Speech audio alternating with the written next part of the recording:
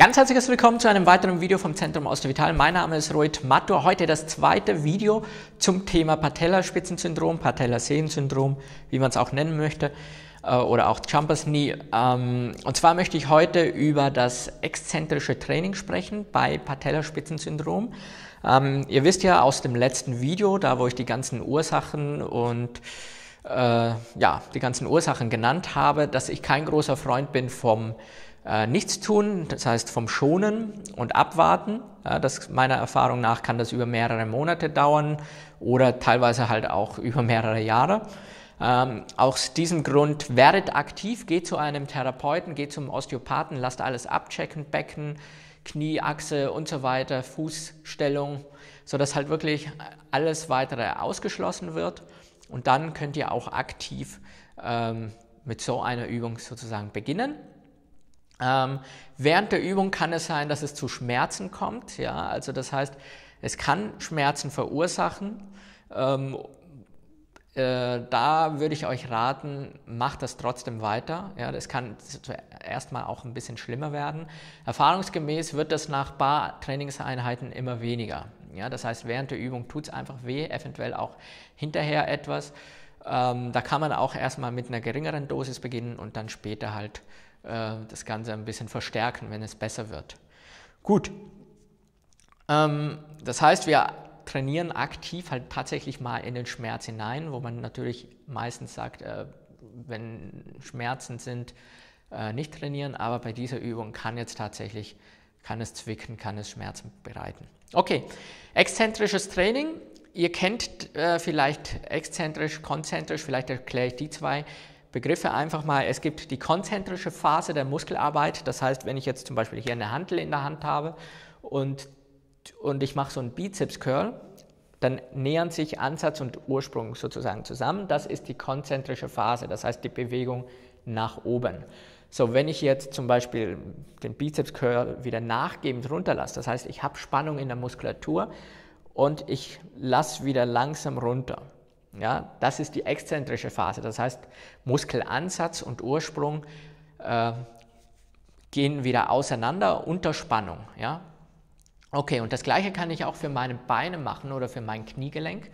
Und zwar, dieses exzentrische Training hat sich in der, äh, in der Therapie sehr bewährt. Es gibt einige Studien, die, Studien darüber, dass es sich vor allem bei Sehnenerkrankungen, bei Sehnenproblemen äh, ja, bewährt hat und dass es häufig zu einer Verbesserung kommt. Und daher möchte ich euch diese Übung jetzt einfach mal zeigen. Ähm, ihr könnt natürlich exzentrisches Training ähm, auch im Fitnessstudio machen. Das geht am besten dort mit der Beinpresse, dass man dort einfach ein Gewicht raufnimmt. Es soll nicht wenig Gewicht sein, das heißt so, dass ihr 15 Wiederholungen sozusagen schafft. Ihr arbeitet quasi, ihr geht in die Beinpresse rein, dann drückt ihr euch mit beiden Beinen weg und lasst euch einbeinig wieder zurück, sodass ihr wirklich die exzentrische Phase mehr belastet. Die Bewegung so circa, entweder ihr bleibt über 90 Grad oder ihr geht sogar unter 90 Grad, also je nach äh, Schmerzempfinden. Wenn ihr empfindlicher seid, dann macht ihr eher die Bewegungsamplitude ein bisschen kleiner. Ja, und wenn ihr merkt, okay, es wird immer besser, dann könnt ihr auch die Bewegungsamplitude Amplitude äh, vergrößern. Okay, das wäre dann zum Beispiel mit der Beinpresse möglich. Allerdings ist es so, das sollte man jeden Tag dann machen. Ja? Das heißt, jeden Tag müsste man ins Fitnessstudio dann gehen und an der Beinpresse das machen. Besser wäre sogar zweimal am Tag, da macht man meistens drei Sätze mit so circa 15 Wiederholungen. Ja? Dadurch, dass man meistens nicht zweimal am Tag ins Studio geht, ähm, gibt es eine andere Möglichkeit, natürlich äh, zu Hause, indem man einfach das exzentrische Training ja, frei macht. Diese Übung zeige ich dir gleich, zeige ich dir jetzt, was du zum Beispiel zu Hause machen kannst. Okay, für diese Übung empfiehlt es sich, irgendwie eine Erhöhung zu machen. Das könnt ihr entweder mit Büchern machen, das heißt, dass ihr einfach ein Buch unterhalb der Sohle legt, sodass ihr so eine leichte Schrägstellung habt. Ich mache das ganz gerne mit dem MFT, also mit diesem Board hier. Da stelle ich einfach die, das eine Bein, das ich jetzt sozusagen trainieren möchte, darauf.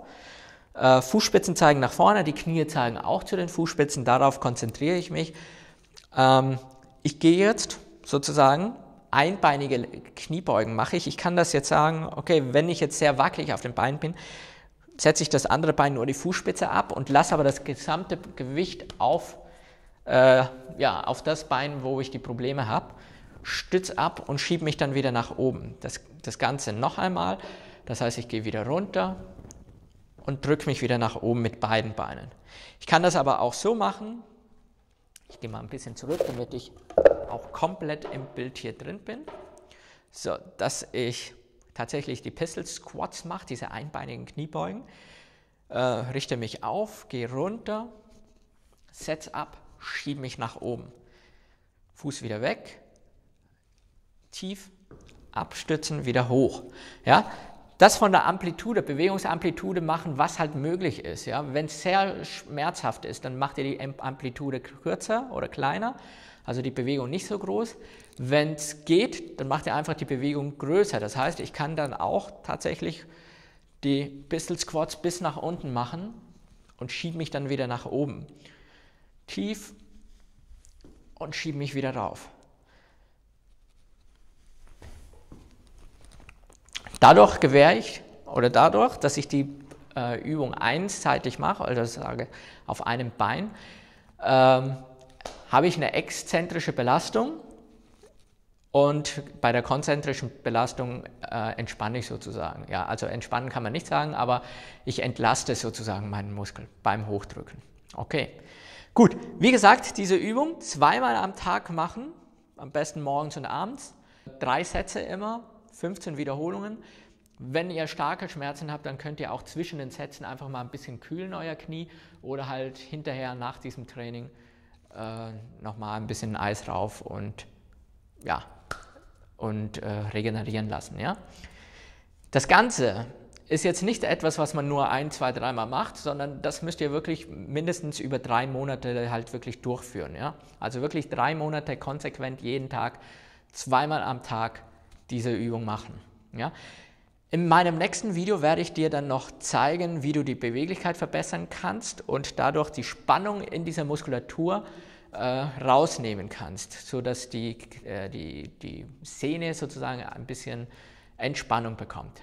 Okay, das war's von diesem Video. Wir sehen uns dann im nächsten Video wieder. Bis dahin, bleib fit, bleib gesund, bleib in Bewegung. Bis dann. Ciao.